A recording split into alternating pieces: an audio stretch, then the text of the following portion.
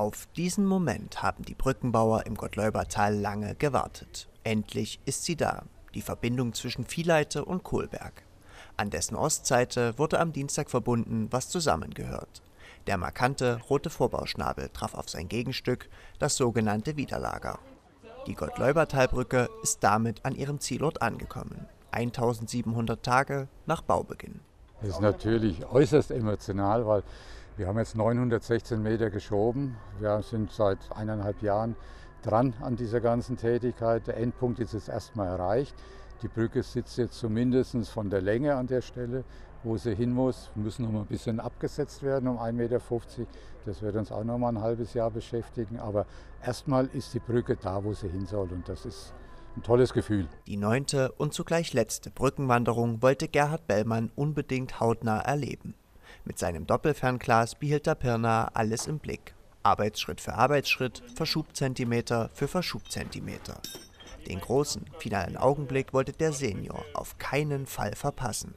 Es ist enorm, was hier vorbei für technische Leistungen gezeigt werden. Also man ist da überfordert. Also Laie, sage ich, bei so einem Bau. Wie das überhaupt funktioniert, alles so, kann man nicht verstehen. Die Ankunft des Brückenkopfes am Kohlberg zog noch mehr Menschen in ihren Bann. Auch Ingolf Hertrich und Dirk Illichmann zählten zu den Schaulustigen.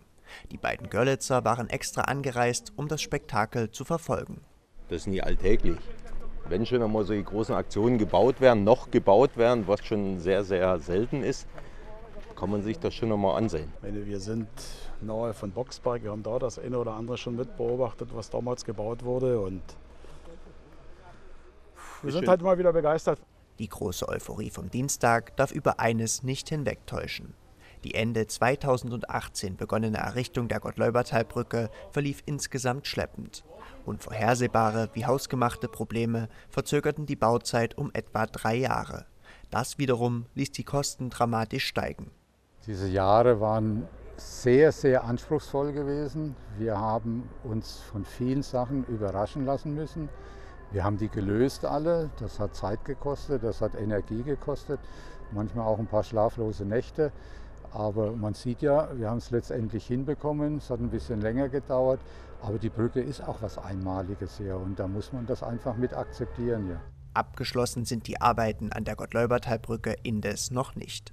Auch in den kommenden Jahren wird hier, am größten und kompliziertesten Bauabschnitt der 3,8 Kilometer langen Südumfahrung, weiter gewerkelt. Die jetzige Lage ist nicht die Endlage, sondern das ist die Baulage. Die ist 1,50 Meter über der Normalhöhe, über der Sollhöhe, weil da die Taktschiebelager drunter sind und andere Hilfs Hilfskonstruktionen. Also wir werden jetzt bis zum Jahresende den Überbau schrittweise in 30 cm Abschnitten, 30 cm Schüben und dann auch über alle elf Achsen absenken. Im kommenden Jahr sollen dann die Pfeiler mit dem abgesenkten Überbau verbunden werden. Final folgt der Straßenbau auf der Brücke. Und dann, dann sind wir guter Dinge, dass wir dann Ende, Ende 26 die Strecke insgesamt vom Sonnstein bis zum Anschluss A17 dann in Betrieb nehmen können. Bis die Südumfahrung Pirnas staugeplagte Innenstadt tatsächlich spürbar vom Durchgangsverkehr entlasten wird, geht also noch einige Zeit ins Land.